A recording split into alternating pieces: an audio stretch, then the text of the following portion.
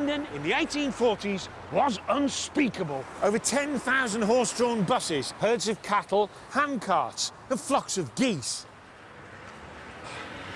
What London needed was a decent transport system.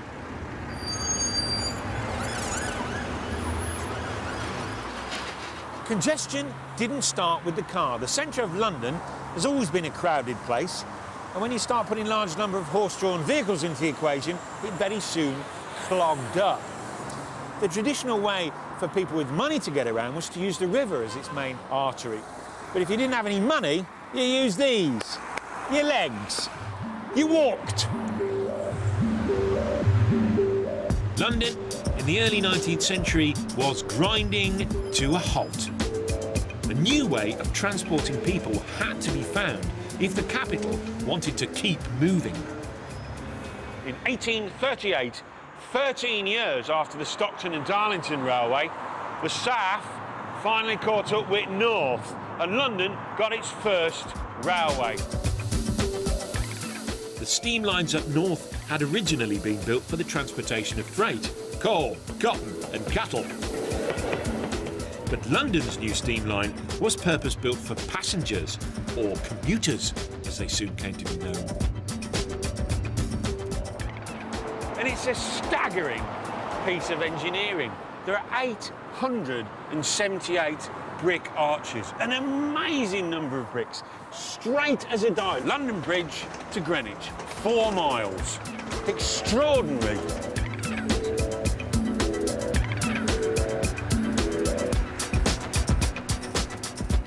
It wasn't just the first train line into London, it was the first urban train line anywhere in the world. And because it's urban, the statistics become staggering. You're not just laying track over green fields, you have to build it. So, we've got 878 arches in total, and you've got 400 men laying 10,000 bricks per day, which is a total of 60 million bricks. The first railway tracks had been laid into the pulsating heart of the capital. But the building of train lines and stations took up a huge amount of space, something which the crowded financial centre could not accommodate. The City of London was determined not to have any mainline stations within its boundaries, so all the termini were built on what were then the outskirts. In 1837, Euston was finished, and in 1838, the sleepy little village of Paddington got this.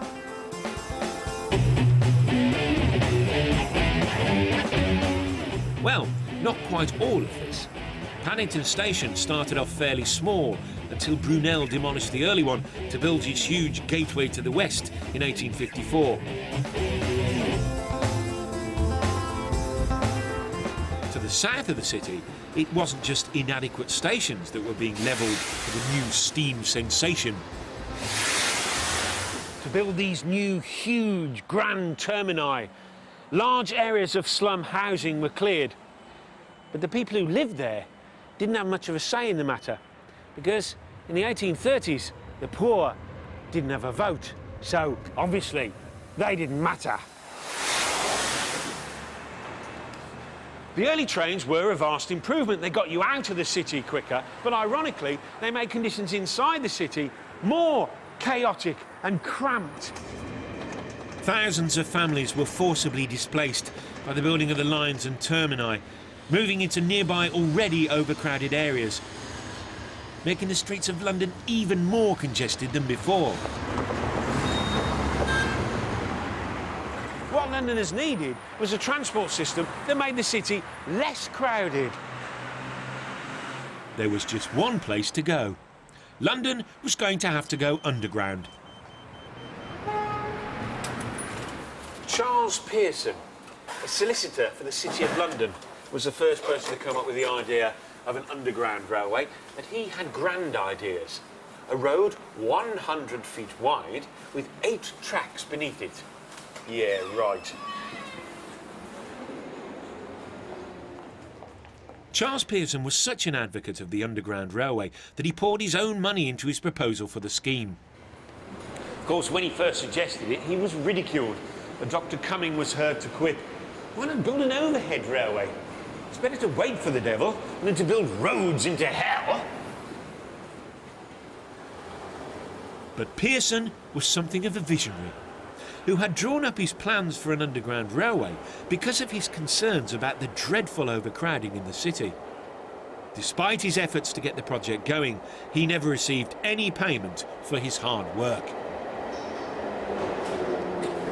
But Pearson knew that tunnels could be made to work, that railways could be built underground. His ideas were inspired by a piece of tunnelling genius. In 1843, the year Pearson first proposed his idea, a French engineering entrepreneur by the name of Marc Brunel had completed a tunnel under the Thames, helped by his son by the name of Isambard. It was never built with trains in mind, but it pioneered a vital engineering technique that made the tube possible. Plus, its popularity. Over 4 million people descended into its murky subterranean depths in the first year, convinced Pearson that people would travel underground. Pearson was almost certainly one of the many visitors to Brunel's tunnel under the Thames. He was inspired by its popularity and also with the very ingenious way that it had been constructed. For Marc Brunel had created what is known as the tunnelling shield. This is how it works. If this is my tunnelling face, I am working at my station. I'm protected all around by a wooden structure.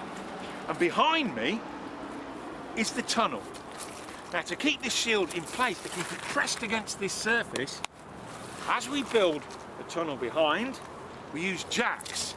And those jacks keep the shield pressed up against the face. Plus, every single piece I'm working at has a board in front of it. And that board itself is jacked to the shield. So in order to work forwards, I take the jacks off boards individually, take them out, work away at my small portion like that, remove all the soil, and then I can move the board further on so it inches forward and behind the bricks aligned and the whole thing moves forward. Brilliant. This was Brunel's iron tunnelling shield. Brunel's tunnel was designed to be an underground road, a subterranean urban experience with stalls between the arches. But it was so costly to build that the road approaches were never built. It was an economic disaster. There were at least five major floods and 20 people were killed, but it was a technological breakthrough. And here it is.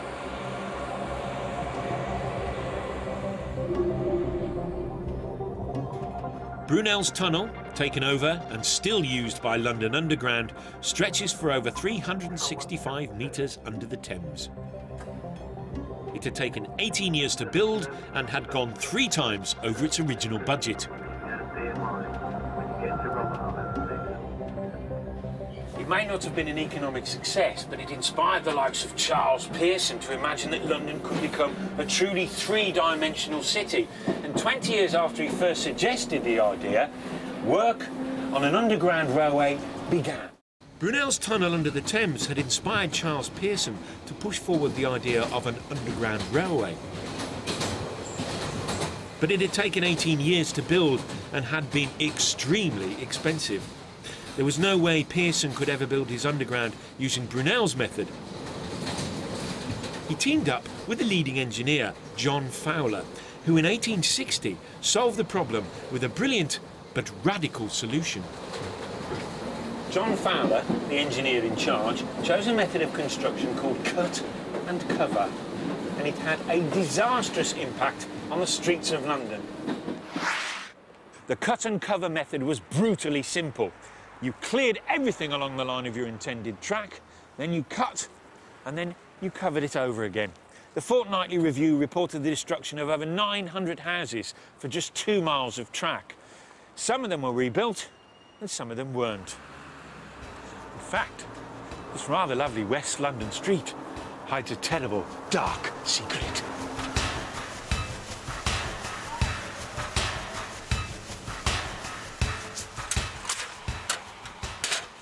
Because number 23 and number 25 Leinster Gardens are a complete sham.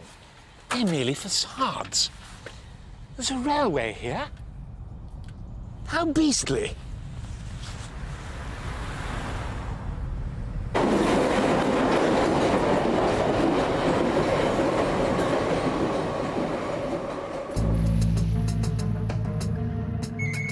When they were building the line, sewers had to be moved.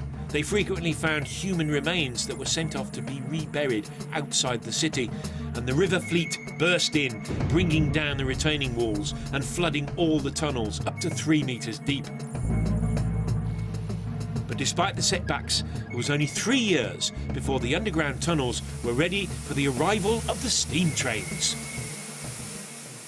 Charles Pearson, the visionary solicitor, never got to see the Metropolitan line carry passengers from Farringdon to Paddington. Sadly, he died just four months before the grand opening. On the 10th of January 1863, the Metropolitan Railway Company finally opened for business, and passengers could be conveyed along dark tunnels between the underground stations of King's Cross, Gower Street, Portland Road, and Baker Street. Over 30,000 people travelled on the Metropolitan line underground to Paddington. The press had doubted that many would brave the journey, but thousands more flocked into the stations until the harassed platform staff were forced to cry, No room! No room! Passengers made the three mile journey behind one of these. And this is the last surviving example. It's here at the London Transport Museum in Covent Garden. A steam locomotive underground. How on earth did they do that? Well, Daniel Gooch from the Great Western Railway came up with the first ones, but the following year, 1864, after the railway was opened, these arrived, made by Beyer Peacock in Manchester. What they did was, the steam was exhausted from the cylinder via a pipe all the way along here into the water tank, into the side tank. And there it condensed in the cold water. Of course, the water didn't stay cold for very long.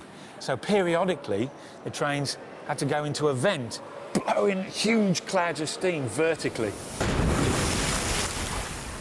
Towards the end of the century, everything changed. Londoners got electricity. Turbine halls were built to keep up with the demand for the new power source. Electricity was the new, adaptable, clean power source. Electrically powered trains would mean there would be no more smoke in the tunnels. The ride would be clean and comfortable.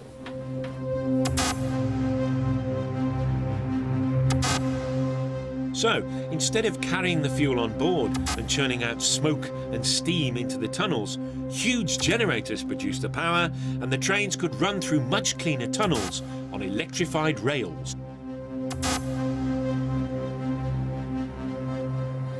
By using electric trains, tunnels no longer needed vents.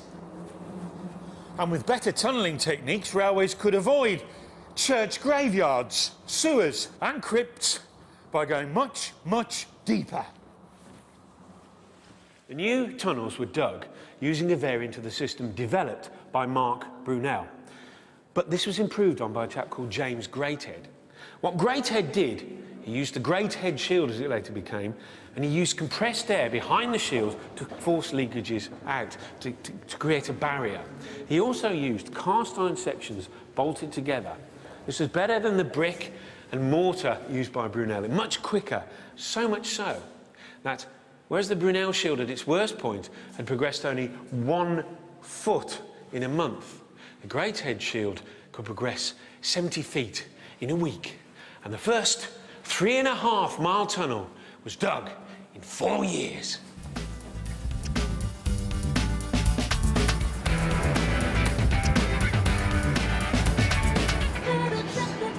The Great Shield, the first underground electric railway was finished in December 1890. It was the very acme of progress. Hydraulic lifts, took passengers down to platforms to ride on the new electric trains. It ran from the city, King William Street, to Stockwell in the south. The London pioneers had created the first electric tube system in the world. Passengers avoided the dirt and smoke of the steam lines, but it was an uncomfortable railway, a very hard ride and prone to power cuts because there wasn't any national grid in 1890 and the City and South London Railway had to generate its own electricity with enormous steam engines and they often failed. It got some things very right and some things very wrong. Every station had a guard who was employed to shout out the name of the station when the train arrived. Because the first carriages, or padded cells as they were nicknamed, didn't have any windows. They didn't think they'd need them underground, in the dark. By 1905, all the steam lines had been converted to electricity and the tube system was expanding fast. Despite the increase in people working in London, the people who actually had to live in the dirty centre of the city fell spectacularly once railways existed to move them out and back. They fell by 80% between 1851 and the turn of the century. And because of railways, the city expanded widthways, over three times as wide in 40 years.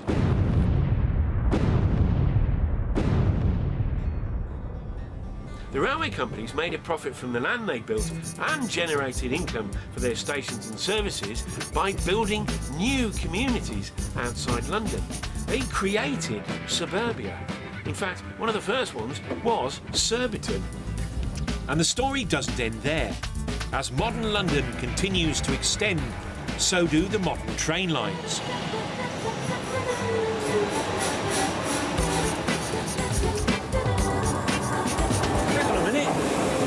No driver. Because it's being driven by Fred. Or rather, Fred, as the traffic controller, is monitoring the computer that's driving the train. The challenge to provide efficient mass transport systems is still with us. And like the early railway builders, nowadays we use technology to solve the problems. This virtual reality paradise is the control centre of a modern rapid transport system, the Docklands Light Railway. It deals with power supply, traffic control, security, and rolling stock. Railway lines have always been vital to the expanding city in the 19th century and now in the 21st century. Here, in London's Docklands, the Docklands Light Railway is pushing east from Canning Town towards the London City Airport. Now, the problem with urban railways, now as in the 19th century, is there's a lot of stuff already there sewers, water, not to mention other people's houses. And the solution here is to build the railway on piers so it doesn't disturb the infrastructure beneath too much and it allows the traffic and pedestrians to pass underneath. So how exactly do they do it? First of all, you prepare your ground and then you drive your piles. There are 10 of them here. You can see the reinforcing bars that stick up from each pile. They have to go down up to 30 metres to cut through all this London clay and reach the layers of sand underneath to give proper foundation. Then, to spread the load on those piles, you put a cap on top. That's that box there. And sticking up out of that are the reinforcing bars that will take the piers that will carry the sections that carry the railway. So this is the concrete pad that will take the weight of the pier. Those supporting rods went into this. These aren't brought to site, these piers, they're cast here. Inside this steel shuttering, poured in one go. And on top of that will sit the deck, the superstructure that carries the rails. Impressive. And this is the superstructure, the decking that sits on top of the piers. You can see where the pier portion goes down there. And like the piers, these are also cast on site, but in these huge moulds. The clever thing about these moulds, in order to ensure that there's a superb fit between each section of the superstructure is that the piece of superstructure that's already been cast acts as one end of the mould, so there is no way they won't fit together perfectly. Furthermore, you can see these holes here. Steel cables are passed through those, and when it's all fitted together, it's tightened and tensioned, so the whole thing is rigid. Each precast interlocking section of deck is then lifted into position and bolted together, supported by this huge gantry. The gantry is not yet in operation, but it's an incredibly ingenious piece of machinery. And this is basically how it works. It supports itself on the piers. It never comes down to earth. It lays each section bolted together and then moves itself along to the next pier and repeats the process. So it just keeps going. Supporting itself in the air.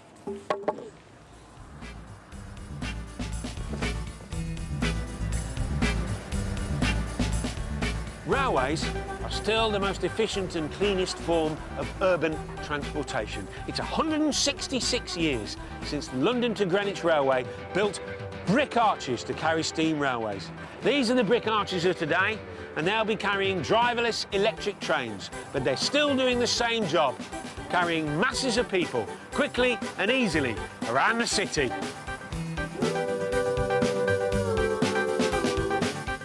It is easy to forget the impact of technology over the past 200 years, and we now take the railways for granted. The system, built by the founding fathers of the railways, made us into the world leaders in railway technology. A lead we have now let slip away. Waiting for the train. Seems to be a very British experience, doesn't it? And we moan about it constantly. But somehow we're not prepared to take the decision to do something about it. One thing that I've learned during this series about railways and the way they were built is that you needed two things energy and investment. And until we decide to provide both of those, we're going to be waiting for the train. I thought that was good. Yeah, that's fine. No worries. As a programme ending. Yeah. If anybody's listening. What are you doing? You filming something?